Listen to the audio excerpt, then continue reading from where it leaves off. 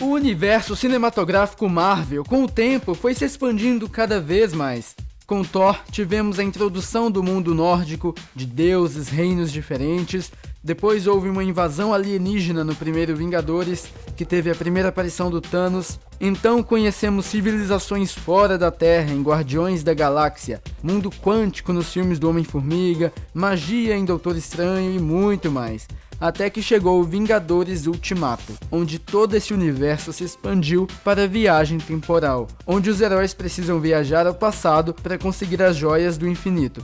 Eu ia gostar bastante se os filmes dessa franquia terminassem ali em Ultimato, como se fosse um final mesmo para Marvel. E agora eles começassem uma nova franquia com os X-Men, o quarteto, os personagens novos, mas ainda tem Pantera Negra, Capitã Marvel, Doutor Estranho, Homem-Formiga, né, todos esses personagens mais recentes para eles desenvolverem. E aí o universo vai continuar. Não só isso, a parceria entre a Sony e a Marvel continua. E o primeiro filme depois de Vingadores Ultimato é justamente Homem-Aranha Longe de Casa.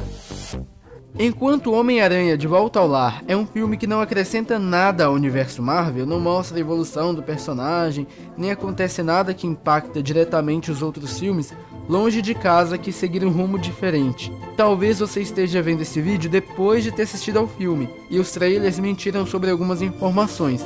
Mas o que sabemos até agora, quase um mês antes do lançamento, é que o novo longa-metragem do Cabeça de Teia aborda os multiversos, correto? O mistério vindo de outra dimensão, fingindo ser bonzinho e que precisa da ajuda do Peter, mas na verdade ele é um vilão.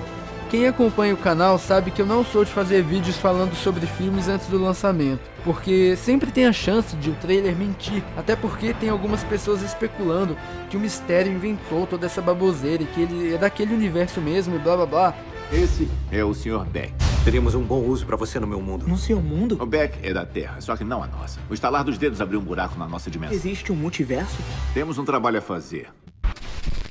Mas esse não é um vídeo de teoria, então vamos ao que interessa. Já deixa o gostei aqui no vídeo e se inscreve no canal para não perder as próximas surpresas que a gente vai ter aqui. Eu penso que a Sony quis fazer o Homem-Aranha no Aranha Verso como a primeira animação em longa-metragem desse personagem como um teste.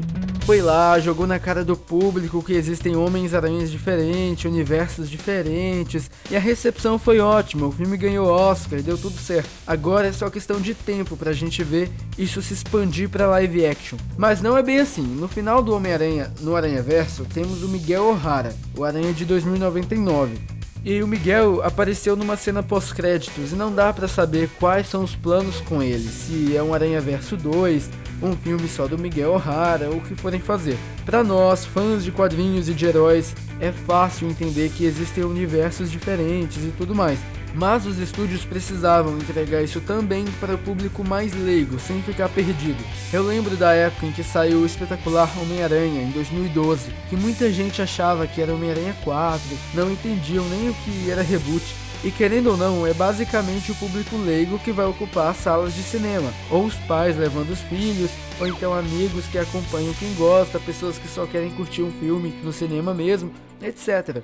E agora a Marvel tá com a faca e o queijo na mão, já que a Sony fez o favor de explicar para o público maior o que é o universo paralelo nas histórias de heróis. Se o mistério for ou não de outro universo, como foi divulgado nos trailers, isso não importa, porque a Marvel vai introduzir em algum momento a ideia de multiversos. Isso pode acontecer, inclusive com o Quarteto Fantástico.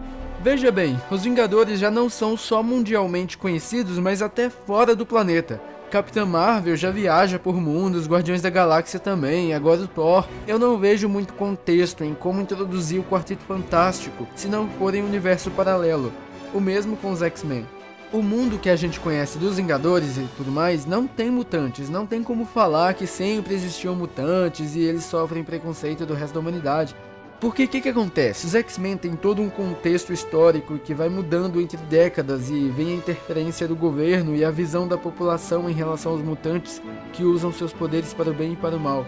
A gente sabe que nos filmes da Marvel não existem mutantes, porque não tem como eles não terem sido abordados em todos esses anos o melhor jeito para a introdução dos novos personagens que agora a Marvel tem direito de uso, graças à compra da Fox pela Disney, é embarcando nessa ideia dos multiversos, o mundo onde os Vingadores não existem. Resta imaginar se a Marvel faria esses mundos se colidirem ou se seriam filmes à parte, como uma nova franquia desse universo cinematográfico. Se isso tiver mesmo sido abordado em Homem-Aranha Longe de Casa, é um grande passo para Marvel a começar nessa nova fase. Basicamente, a gente vai ver o Quarteto Fantástico surgir no mundo onde já existem os X-Men, mas não existem Homem de Ferro, Capitão América, Homem-Aranha, Hulk e todos os outros personagens dos Vingadores. Se você gostou do vídeo, compartilha no seu grupo de amigos, espalha pra galera e se inscreve no canal também. Recomendo esses vídeos aí na tela para conhecer ainda mais do que a gente aborda aqui no canal Supremos Pyre. Um abraço, tenha um ótimo dia. Fui!